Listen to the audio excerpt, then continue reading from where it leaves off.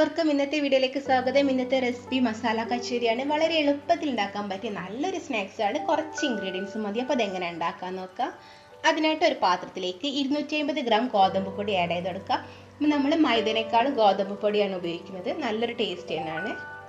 ഇനി ഇതിലേക്ക് ആവശ്യത്തിന് ഉപ്പ് ആഡ് ചെയ്ത് കൊടുക്കുക എന്നിട്ട് നന്നായിട്ടൊന്ന് മിക്സ് ചെയ്തെടുക്കുക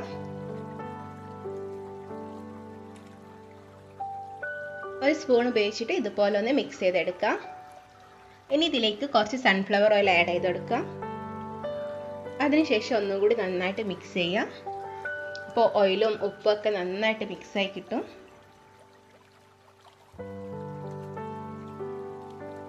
ഇനി ആവശ്യത്തിന് വെള്ളം ഒഴിച്ചിട്ട് നമ്മൾ സാധാരണ മാവ് കുഴച്ചെടുക്കുന്ന രീതിയിൽ കുഴച്ചെടുക്കുക. അപ്പോൾ വെള്ളം ഓവറായിട്ട് ഒഴിക്കേണ്ട ആവശ്യത്തിനനുസരിച്ച് ഒഴിച്ചെടുത്താൽ മതി. എന്നിട്ട് നന്നായിട്ട് കുഴച്ചെടുക്കണം. അപ്പോൾ നമുക്ക് നല്ല രീതിയിൽ സോഫ്റ്റ് ആയിട്ട് കിട്ടും.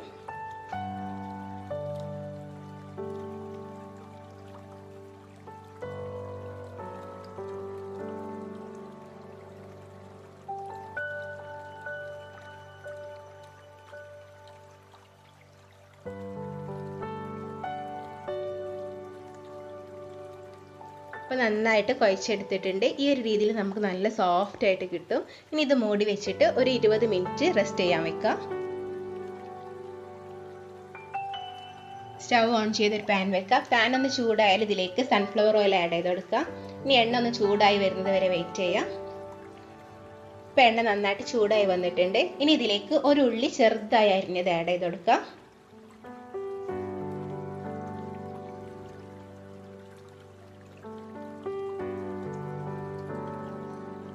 ഇനി ഇതിലേക്ക് ആവശ്യത്തിന് ഉപ്പ് ആഡ് ചെയ്ത് കൊടുക്കുക. എന്നിട്ട് നന്നായിട്ടൊന്ന് വഴറ്റിയെടുക്കുക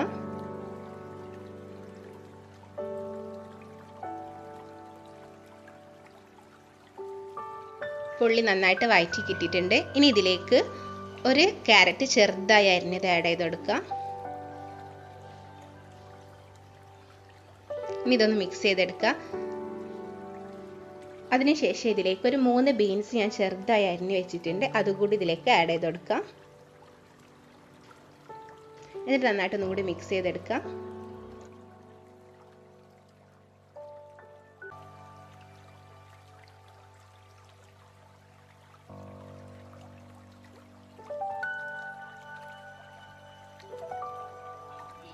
അപ്പോൾ എല്ലാം കൂടി നന്നായിട്ട് മിക്സായി കിട്ടിയിട്ടുണ്ട്.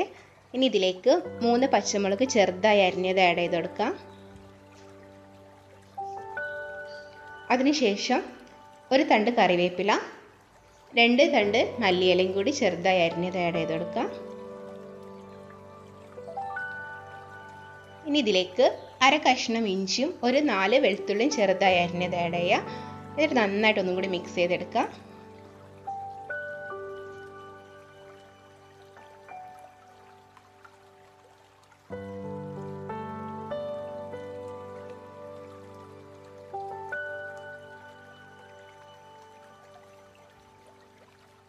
ഇപ്പം നല്ലോണം കുക്കായി കിട്ടിയിട്ടുണ്ട്. ഇനി ഇതിലേക്ക് അര സ്പൂൺ മുളക് പൊടി കാൽ സ്പൂൺ മഞ്ഞൾപ്പൊടി കാൽ സ്പൂൺ ഗരം മസാല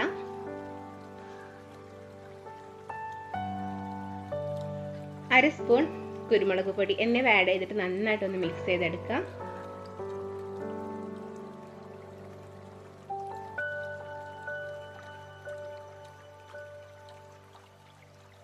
മസാലയൊക്കെ നന്നായിട്ട് മിക്സ് ആയിട്ടുണ്ട്. ഇനി ഇതിന്റെ ഒരു പച്ചമണം പോകുന്നത് വരെ വെയിറ്റ് ചെയ്യാം.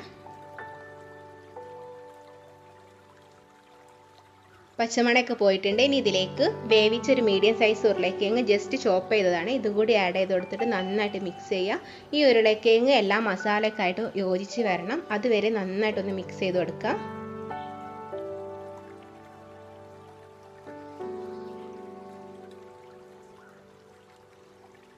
ഉരുളക്കിഴങ്ങ് എല്ലാം മസാല ആയിട്ട് നന്നായിട്ട് മിക്സ് ആയി കിട്ടിയിട്ടുണ്ട് ഈ ഒരു രീതിയിൽ ഇനി സ്റ്റൗ ഓഫ് ചെയ്ത് ഇതൊരു പാത്രത്തിലേക്ക് മാറ്റാം.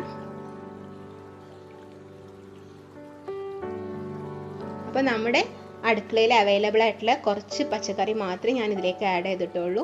അപ്പോൾ നമ്മുടെ മസാലയൊക്കെ നന്നായിട്ട് സെറ്റായി കിട്ടിയിട്ടുണ്ട്.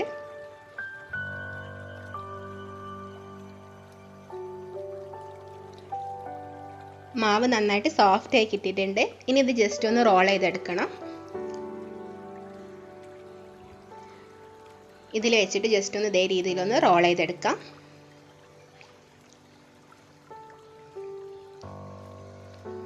ഇനി ഇത് ചെറിയ പീസായിട്ടൊന്ന് കട്ട് ചെയ്തെടുക്കണം. ഇതേ രീതിയിൽ കട്ട് ചെയ്തെടുക്കാം.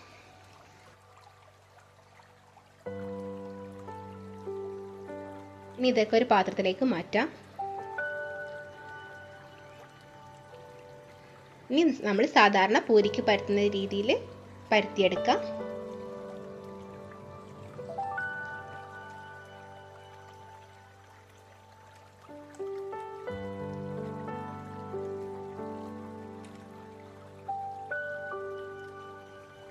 ഇതേ രീതിയിൽ ബാക്കിയുള്ളതൊക്കെ ചെയ്തെടുക്കാം.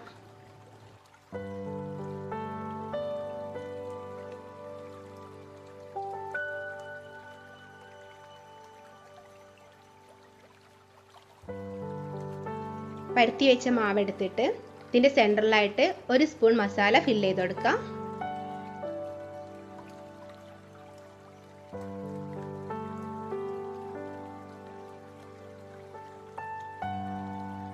ഇതേ രീതിയിൽ ചെയ്തെടുക്കാം.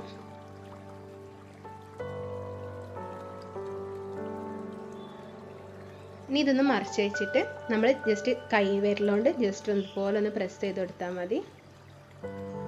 ഇതേ രീതിയിൽ പതുക്കെ പ്രസ് ചെയ്ത് കൊടുക്കാം.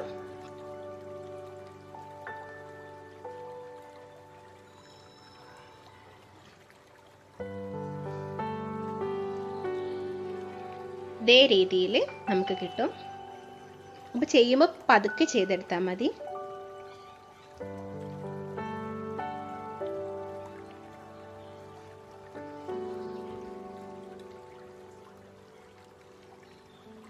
ഇനി ഇതുപോലെ ബാക്കിയുള്ളതും ചെയ്തെടുക്കാം.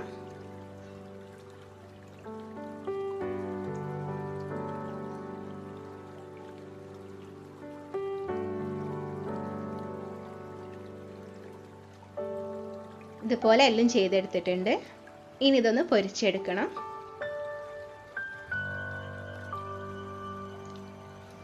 സ്റ്റവ് ഓൺ ചെയ്തൊരു പാൻ വെക്കുക. പാൻ ഒന്ന് ചൂടായാൽ ഇതിലേക്ക് എണ്ണ ആഡ് ചെയ്ത് കൊടുക്കുക. അപ്പോൾ ഞാനിവിടെ എടുത്തത് സൺഫ്ലവർ ഓയിലാണ്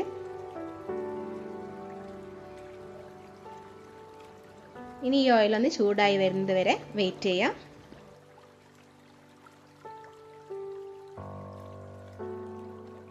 എണ്ണ നന്നായിട്ട് ചൂടായി വന്നിട്ടുണ്ട്.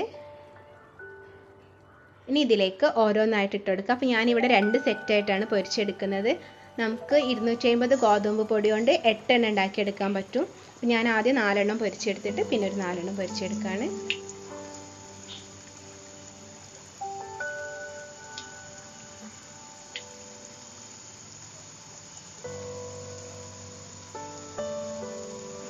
ഒരു സൈഡ് ഒന്ന് കുക്ക് ആവുന്നത് വരെ വെയിറ്റ് ചെയ്യാം. അപ്പോൾ നമുക്ക് പെട്ടെന്ന് തന്നെ കുക്ക് ചെയ്തെടുക്കാൻ പറ്റും. കാരണം പൂരിയൊക്കെ പൊരിക്കുന്ന രീതിയിൽ തന്നെ നമുക്ക് പൊരിച്ചെടുക്കുന്ന ഒന്നാണ്.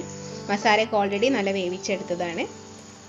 ഇപ്പോൾ ഒരു സൈഡ് കുക്കായിട്ടുണ്ട് ഇതുപോലെ തന്നെ മറിച്ചിട്ട് കൊടുക്കാം.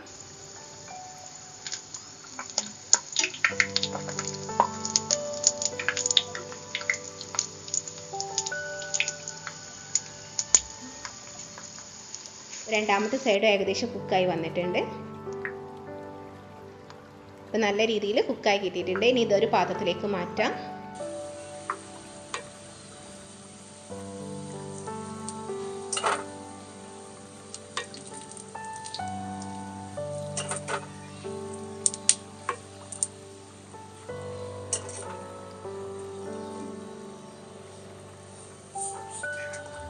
ഇതുപോലെ രണ്ടാമത്തെ സെറ്റും പൊരിച്ചെടുക്കാം.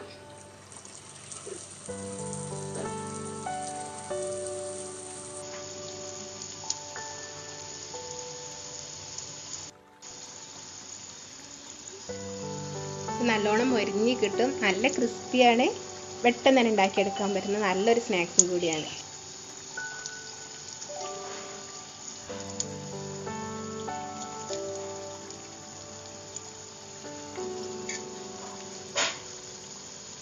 രണ്ടാമത്തെ സെറ്റും ഇതുപോലെ നന്നായിട്ട് കുക്കായി കിട്ടിയിട്ടുണ്ട്. ഇനി ഇതൊരു പാത്രത്തിലേക്ക് മാറ്റാം.